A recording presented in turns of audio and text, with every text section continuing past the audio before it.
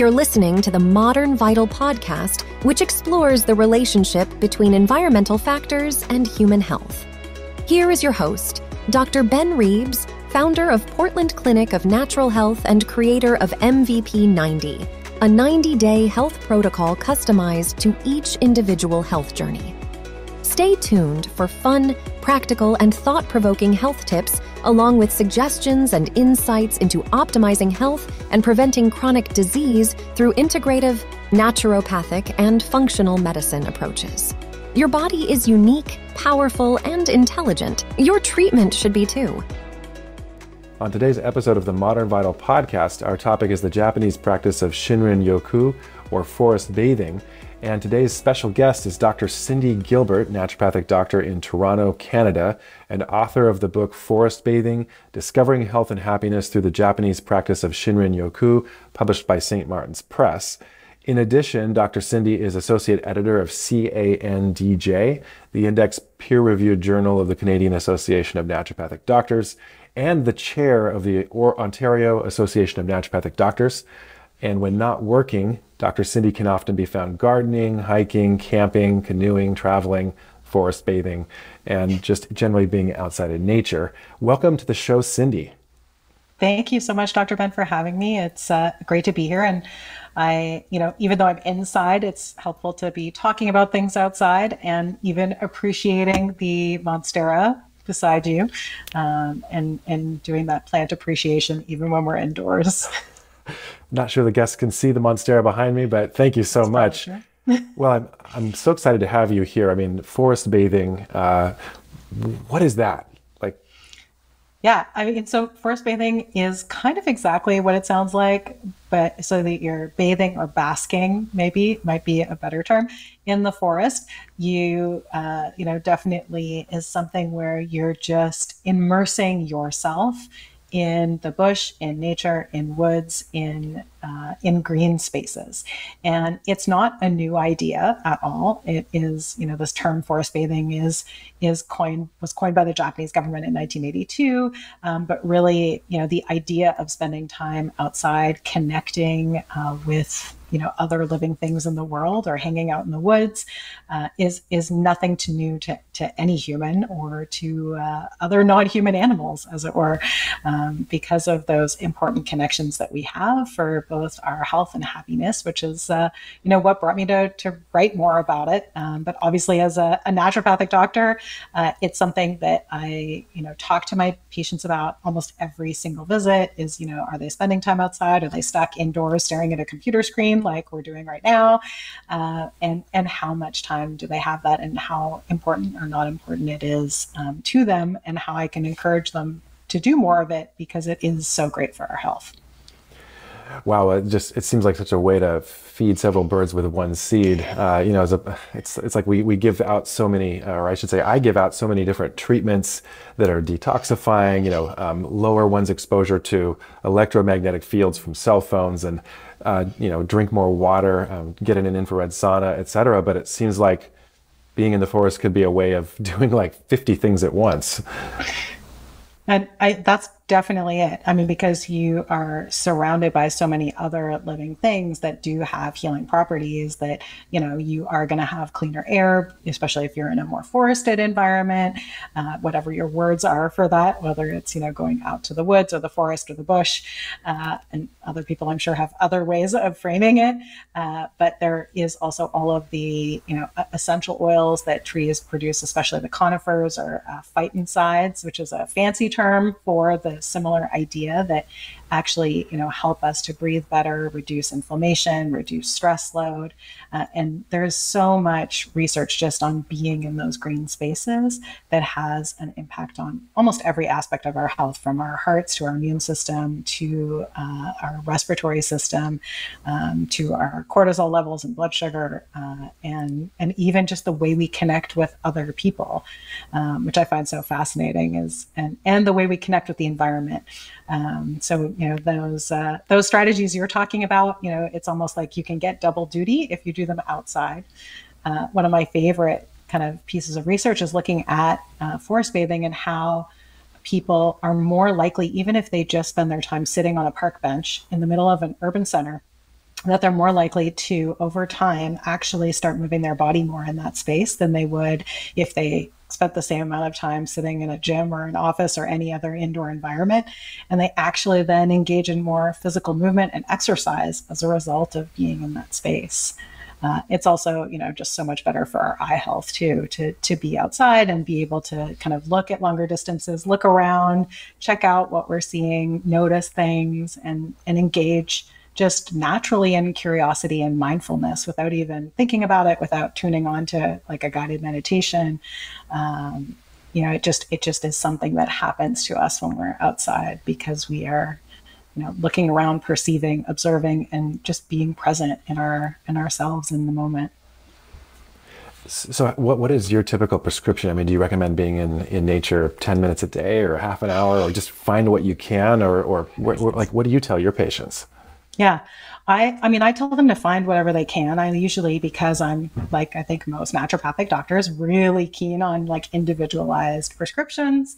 So we kind of talk about how they can incorporate it for them. The research says, you know, if you can do two hours total in a week of being outside, that that's a good amount of time. You know, there's obviously like increased dose dose responses with higher amounts. Um, but two hours is a reasonable amount of time. It seems like a lot if you think about it in one chunk, but that could just be like a walk in on the weekend. Um, but it could be, you know, taking a different route um, because I'm in an urban center.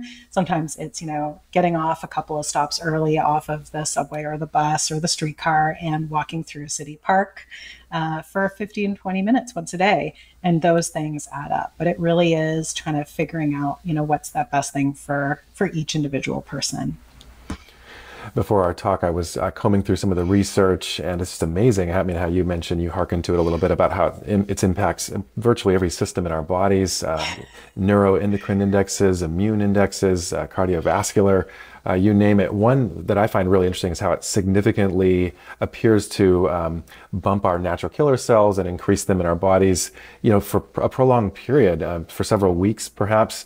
Uh, I don't know how long one has to be in the forest to have their natural killer cells go up. Um, do you?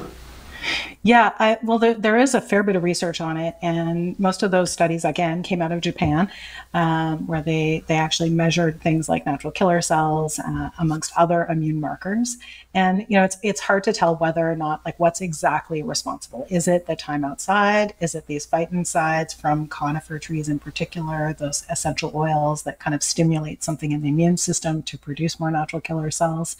In most of the research studies, they spent only a couple of hours outside um, you know, for for once a week or sometimes like a few days in a row. And then they would notice these, you know, extended periods of time, one week, two week, even six weeks of increased uh, immune system activity. Um, so, you know, I always just take that and say, okay, well, if that's true, then why wouldn't we just encourage everyone to do that more frequently, right? So that that that we're not going to, you know, go out. You could, you could go out for, you know, once a month for a weekend um, as another alternative to get like a larger amount of time, obviously in a safe way that works for that person. Um, but any ways that we can do that, you know, is going to have those longer term impacts on immune system um, activity and, and ability to respond. And you know, it really is kind of neat because I think about the way that you know that that other systems outside how the trees talk to each other, how the you know mycelial networks underground are working, how that nutrition is shared, and it's almost like we become more aware of our place within that ecosystem when we engage in forest bathing, so that we too can benefit from all of the other living things in our environment, and you know help us all to be healthier. Uh, you know both both the trees helping us to be healthier because we're breathing maybe it's because we're breathing cleaner air maybe it's because we're getting more vitamin d and that's having an immune response uh, maybe you know it is because we feel connected and uh, and not so alone, right? Because there's lots of research on how even if you go out by yourself to the into green space, that you're less likely to feel down, depressed, hopeless, uh, more likely to feel engaged, you know, more likely to feel focused and be able to uh, to perform better on a cognitive level even that you know all of these things play together and and the verse is also true, which is what I find fascinating. You know, it's better for our immune system, for our blood pressure, as you said, cardiovascularly, blood pressure goes down um, with forest bathing, uh, and uh, and HRV, uh, heart rate variability, goes up, which is another marker for you know how uh, relaxed we are, let's say, or the opposite of stress. Um, but as much as we spend time outside and those you know green spaces are benefiting us, we in turn are also kind of taking care and you know noticing and becoming more environmentalist as it were a little bit more like a tree hugger um, if not literally doing that while we're forest bathing and at least having more care for that uh, that the rest of the those connections as well this really gets into the, the roots of naturopathic medicine. And I know a lot of the forebearers were, um, you know, having people walk in streams barefoot and walking barefoot on the grass and, and um, all the things. I mean, and then of course, all the indigenous uh, societies that have uh, propagated this way of this relating to nature for millennia. Um, what, what an amazing way to kind of connect to the roots of this medicine and then also um, appreciate all the different uh, tributary as that it's come from.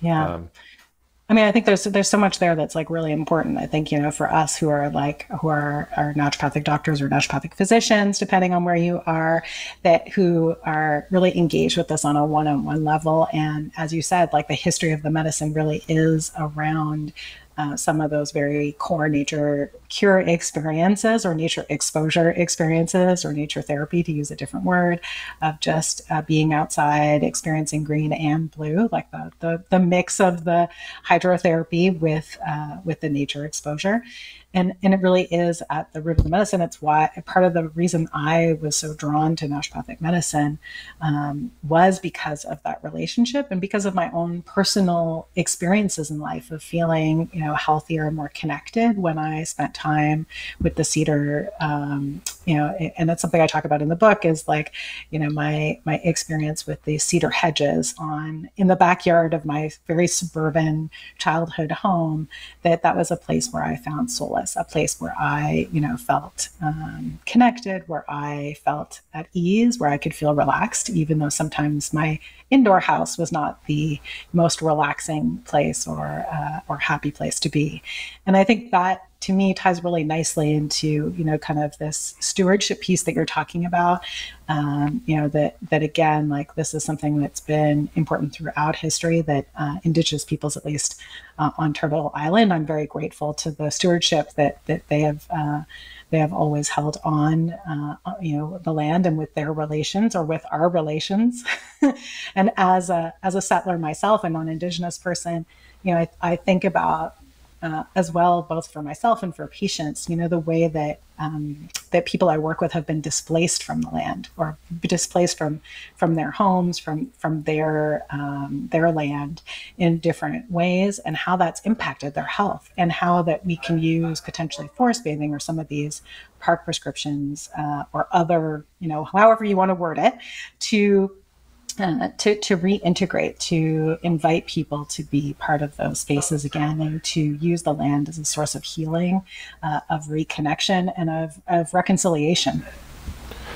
That's really powerful. I hadn't really thought about how forest bathing is actually a way of taking care and stewarding the land. It's more like I was thinking of a way, it's a way of uh, being in it and getting something from it, but yeah. it's actually a way you're, you're bringing up that's a way of giving back as well and being present um, and taking care of the land.